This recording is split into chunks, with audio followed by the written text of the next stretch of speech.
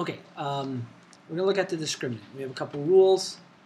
When the discriminant's a positive value, there's two roots. When it's equal to zero, there's one root. When it's less than zero, there's zero roots. And what that means um, on a graph is essentially greater than zero means it's crossing the x-intercept. So the vertex is below and it's going up, or it's above and coming down. So that would be like scenario one.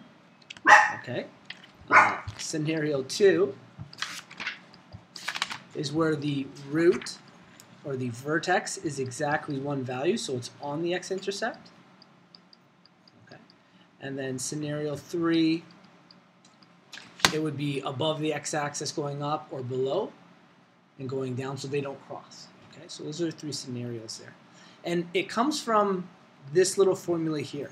And the reasons it is important is because um, you're finding the square root of something. So if you have a positive value, that means you can find the square root. It checks out, which means you're going to find two roots. If the number underneath is zero, the square root of zero is zero. So you're going to be adding and subtracting zero, which won't change anything. So you only get one. Yeah, and if it's a negative value, you can't square root a negative, so There's there no- are no roots in it. Yeah.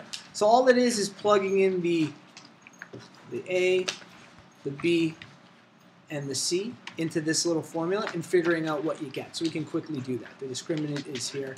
In this case, it's 0.75 squared. That's our B value. Minus 4 times negative 2 is the A, and the C value is 5. Okay? And I can tell you right now, okay, when you square a decimal, you get a smaller decimal. Yeah. Negative 4 times negative 2 is positive 8 times 50. Sorry, times 5, Five. is going to be we have 8 40. times 5, 40. So we have positive 40 plus some smaller decimal, blah, blah, blah, blah. I am going to get a positive value here. So I know there's going to be 2 Uh-huh. roots as I go through that. Yeah. So the actual value of the number isn't important. It's just what the sign is or Yeah. what the if it's positive, negative, or if it's zero, that's the only time it's really important.